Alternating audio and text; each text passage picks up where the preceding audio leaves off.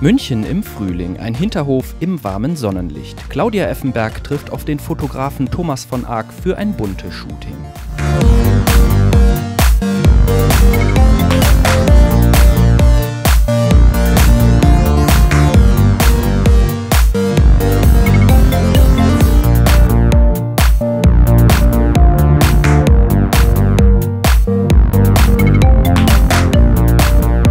Als ehemaliges Model ist die 48-Jährige ein alter Hase im Business. Doch was macht für sie ein wirklich gutes Shooting aus? Das Wichtigste ist natürlich der Fotograf oder die Fotografin. Und wenn ich mit denen nicht klarkomme, dann brauche ich auch nicht weiter zu shooten. Eigentlich kann ich direkt nach Hause fahren.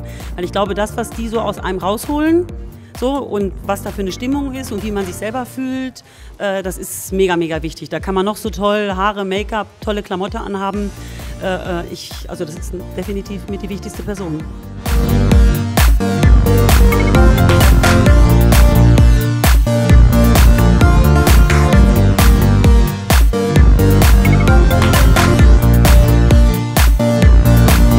Aber auch das Model muss mitspielen, die Stimmung in die Bilder transportieren.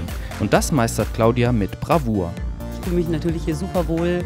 Äh, das Styling ist Hammer. Ich äh, habe einen Anzug jetzt gerade an, was ich eigentlich auch äh, früher schon sehr, sehr gerne gemocht habe. Und ich finde, das sehr, sieht sehr, sehr stark aus, unterstützt eigentlich jetzt das, was eigentlich, was ich ausdrücken möchte, meine Stärke, meine Power, meine Kraft, die ich habe. Und ja, ich finde es cool. Mal ganz was anderes. Nach einer Trennung, dass man da natürlich ja, sich dann selber nochmal in eine ganz andere Richtung vielleicht entwickelt. Und äh, ich spüre nur Stärke und Kraft und Power.